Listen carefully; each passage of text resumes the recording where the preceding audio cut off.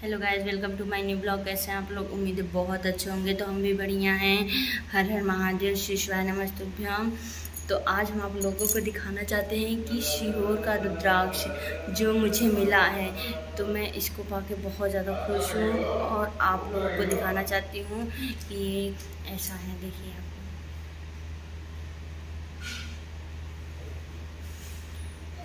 इससे मिलने से मेरे घर की बहुत सारी समस्या दूर हो गई। इसको मैं शाम को भिगोती हूँ और सुबह जाके इसको जल शंकर जी को अर्पित करती हूँ,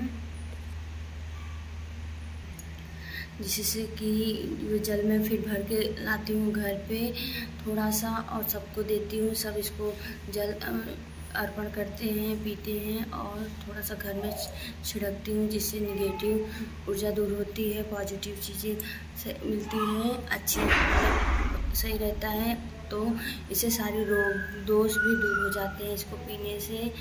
तो आप लोग भी लिए होंगे कोई कोई तो गया होगा शिवोर और यहाँ से रुद्राक्ष लाया होगा।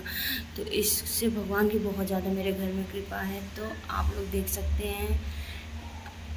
और वहाँ का जो कंकड़ शंकर होते हैं, उसको भी मैं, मुझे मिला है। मतलब मेरे भैया गए थे तो वहाँ से लाए थे इसको और वो कंकड़ शंकर को। तो अभी मैंने यहाँ अपने घर में अर्पित नहीं किया है। मेरा घर अभी बना नहीं है। तो जब बन जाएगा तो मैं इसको अपने घर में लगाऊँगी।